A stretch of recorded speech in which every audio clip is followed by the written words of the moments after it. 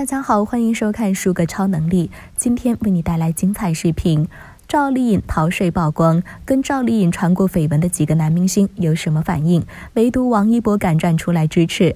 继郑爽、薇娅后，一线当红小生邓伦因偷税漏税被罚一点零六亿后火速凉凉，不仅遭影视剧、综艺除名，与其他合作的品牌也在第一时间与之撇清关系，官宣与其解约。而在此基础上，各大社交平台迅速封禁了邓伦的社交账号，更是直接确定了邓伦遭封杀的事实。三月二十九日，距离邓伦偷税漏税事件已经过去了大半个月，一则邓伦被以前的品牌合作方起诉的词条迅速登顶热搜，吃瓜群众总算等来了后续。前不久。邓伦被曝光偷税漏税的时候，喜欢他的人都在想，可能是同名同姓吧。直到上海市税务局盖棺定论，依法对邓伦逃税漏税案件进行处理，全网几乎哀鸿遍野，多数是邓伦的粉丝。更过分的是，在此之前，税务机关提醒督促邓伦，他仍然整改不彻底，这种行为相当于知法犯法。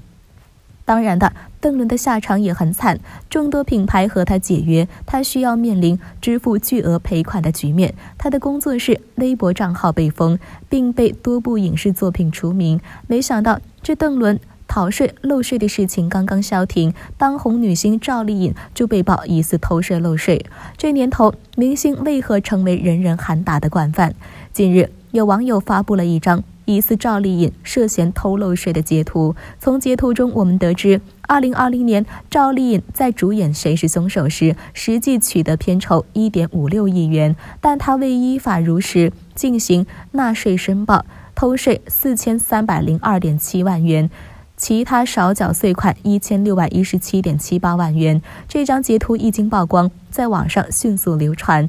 赵丽颖的粉丝看到这个消息，也是积极帮自家偶像辟谣。有细心的网友发现，这张截图里的信息和早些年郑爽偷税漏税的信息几乎一致。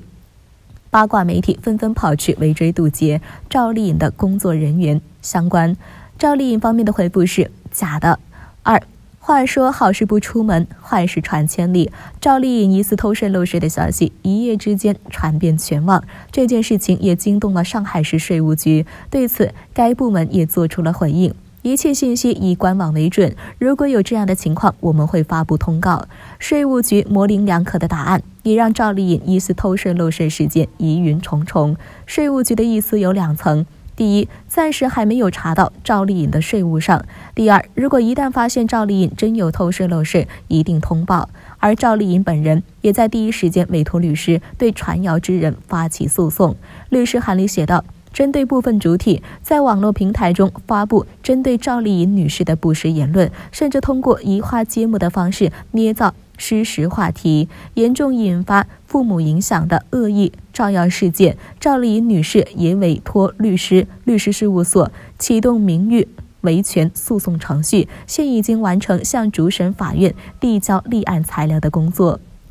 对此，赵丽颖的粉丝也是义愤填膺，对赵丽颖打抱不平，他们希望严惩造谣者，以正视听。当然，作为赵丽颖的粉丝。这么愤怒也是有原因的，毕竟这几年国家加强了对明星的管理，尤其是违法犯罪等问题更是严惩不贷。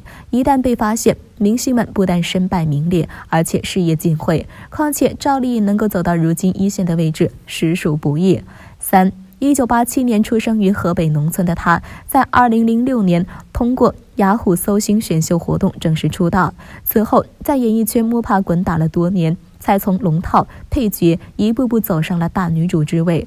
农村的经历造就了赵丽颖坚强的意志。不管是在《陆贞传奇》里聪明睿智的一代女相陆贞，还是《花千骨》里坚强善良的孤女花千骨，甚至是女性励志传奇剧《楚乔传》，这些角色身上。都刻有赵丽颖这些年吃过无数苦的痕迹，而这些角色的成功又多亏了她背后付出的心血。在拍摄电影《宫锁沉香》时，有一场戏是要她中箭后从马背上摔下来，由于工作人员没有配合好，他直接从马上摔下来，截到后背。导致腰部受伤，留下了伤疤。可是当时的他硬是闷声不哼声，把这场戏拍完了。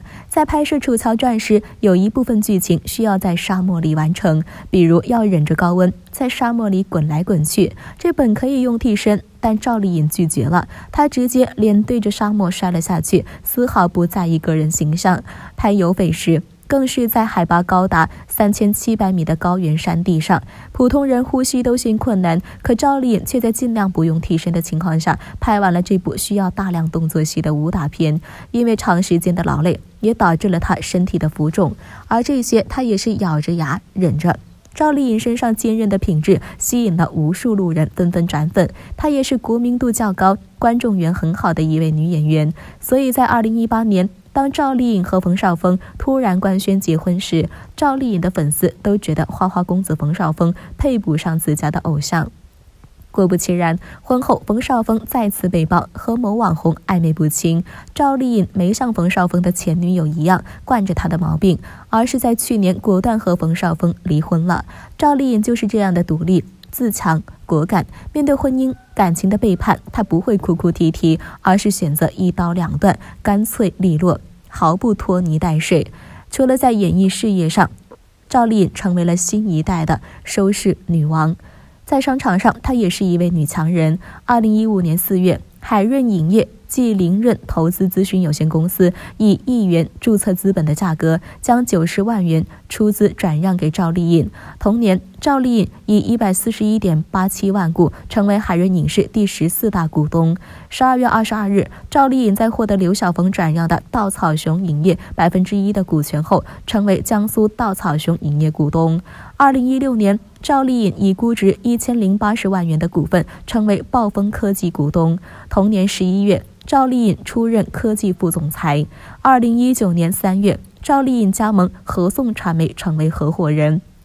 这家公司可了不得，它是由李冰冰、李雪、唐雪薇、张天龙、池卫辅航共同创立的，以艺人经济。为核心的传媒公司，李冰冰成名多年，其在娱乐圈的地位自然不用多说。赵丽能够被纳入合伙人，可见李冰冰对她有多赏识。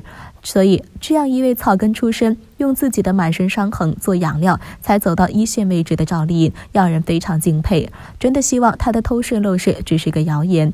毕竟，赵丽颖可是许多人心目中的女性励志榜样。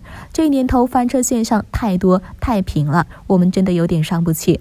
赵丽颖，请一定挺住！好了，今天的视频就分享到这里了。更多精彩资讯尽在“数个超能力”，敬请关注哦。